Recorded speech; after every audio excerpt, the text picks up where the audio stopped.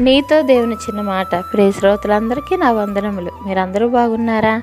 మీరందరూ బాగుండాలని వాక్యం ద్వారా స్థిరపరచబడాలని ప్రార్థిస్తున్నాను. ఈరోజు దేవుని వాక్యం. యోహాను సువార్త పదమూడో అధ్యాయము ఇరవై రెండవ వచనం.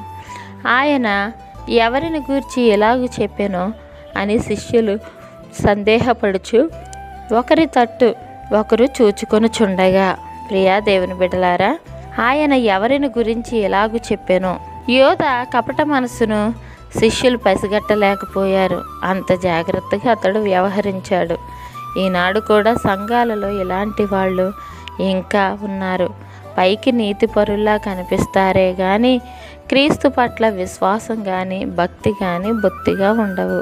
ఇట్లు మీ సహోదరి భాగ్యం. మరణాత శలం మా ఛానల్ లైక్ చేయండి షేర్ చేయండి కామెంట్ చేయండి సబ్స్క్రైబ్ చేయండి. పక్కనే ఉన్న బెల్ ఐకాన్ క్లిక్ చేయండి. Thanks for watching